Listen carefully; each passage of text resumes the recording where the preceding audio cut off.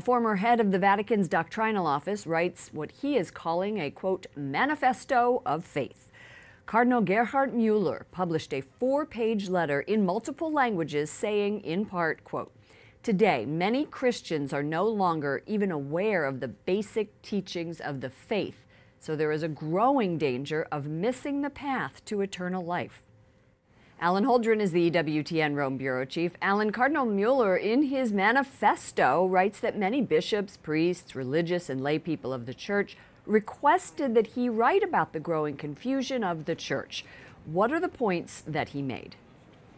Well, it's really a, a, profession of faith, Lauren, based on the Catechism of the Catholic Church. One of the strongest points that he makes is on the Eucharist and preserving the Eucharist, especially against those who would receive communion uh, unworthily, is how he puts it. Um, the divorced and uh, in the second union, also uh, those who aren't in full communion with the Church. He says this is a, a hurdle for them, a barrier between them and salvation. And uh, this is, is interesting also because he's a German bishop. Um, the proposal for uh, the possibility of receiving communion uh, by a divorced and remarried person was proposed by the German bishops. They've also uh, come forward and asked for intercommunion. There, was a, there were meetings last summer between a Vatican and a German delegation to speak about that possibility. That's Protestant spouses of Catholics receiving communion in the Catholic Church. Uh, Pope Francis rejected that. Alan Holdren, Cardinal Mueller served as the Congregation for the Doctrine of the Faith, the prefect, under Pope Benedict XVI and Pope Francis from 2012 until 2017.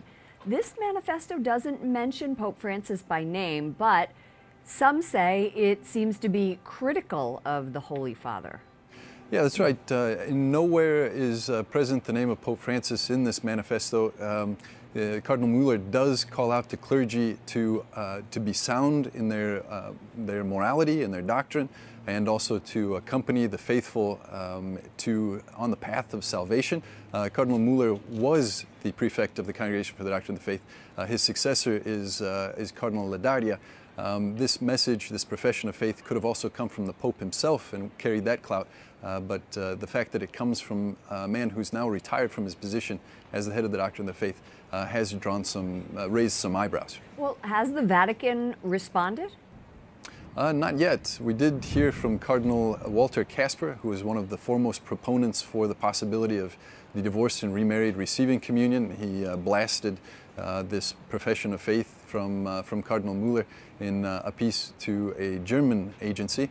Um, but uh, otherwise, uh, we haven't heard anything official from any of the Vatican departments yet.